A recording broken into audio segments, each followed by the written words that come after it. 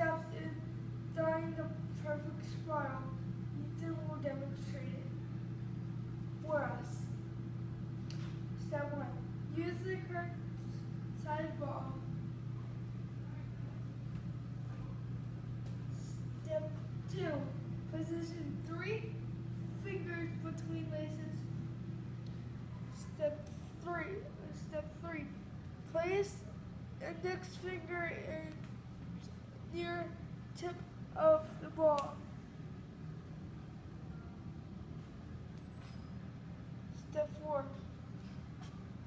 grip the ball with your fingertips.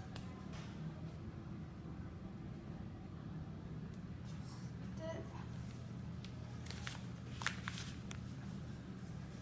um, Step five. Position feet correctly. Feet, shoulder, while apart. Knees slightly behind, throwing and foot back. Stand sideways. Steps, steps used. From, from, from, Proper. proper, proper throwing motion.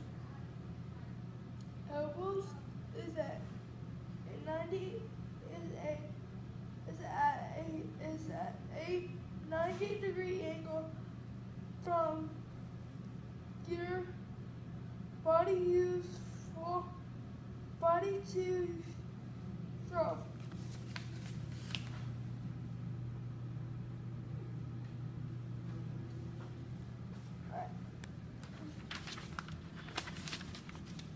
Step 7. Step 7.